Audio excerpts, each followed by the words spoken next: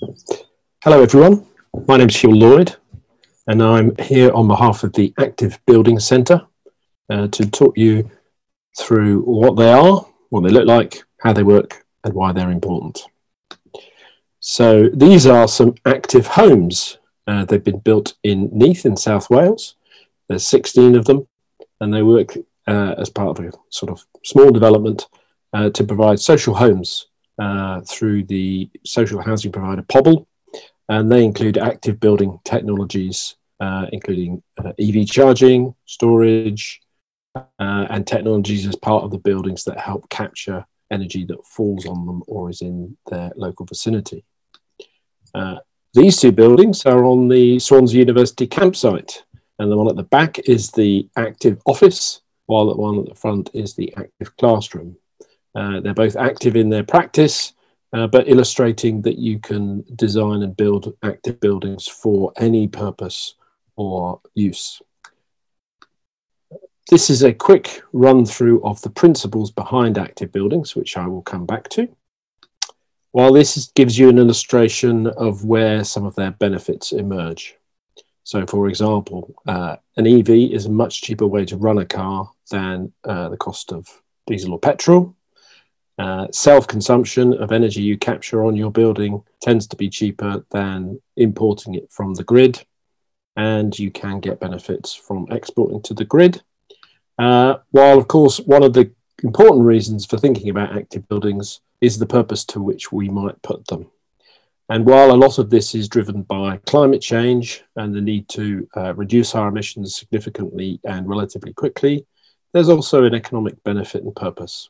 Uh, the UK would not be the only country in the world to deploy some of these technologies uh, to turn fuel poverty on its head and generate opportunities for energy wealth for individuals and communities.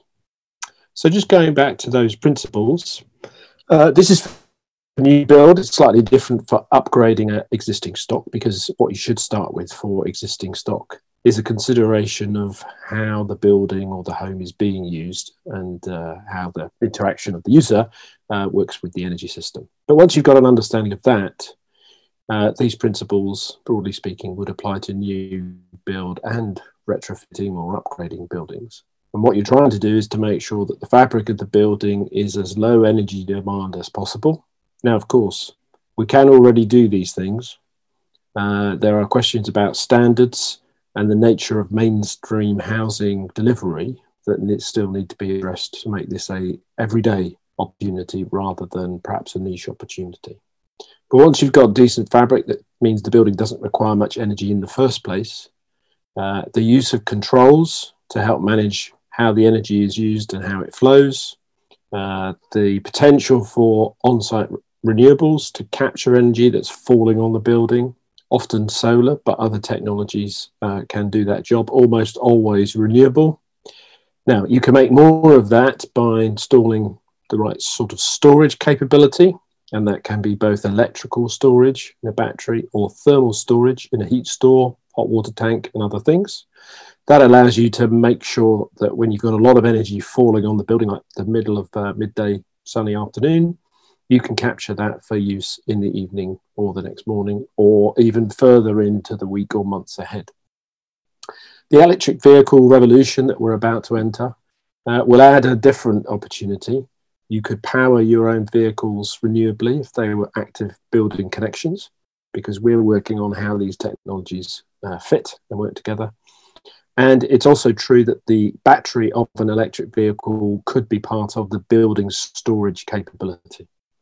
Now, all of those things together also offer uh, opportunities to help the local grid. We all know it needs to transform to respond to climate challenges. And what you can do with an active building is delay the peak, uh, support the, the grid when it needs extra energy for things. And that should, could and should save money uh, because you won't have to reinforce the grid uh, in a traditional way with substations and more wires, that sort of thing.